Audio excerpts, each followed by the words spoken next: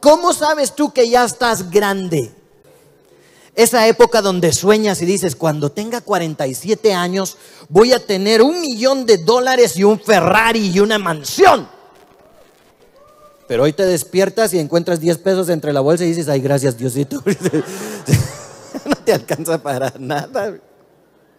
Sí.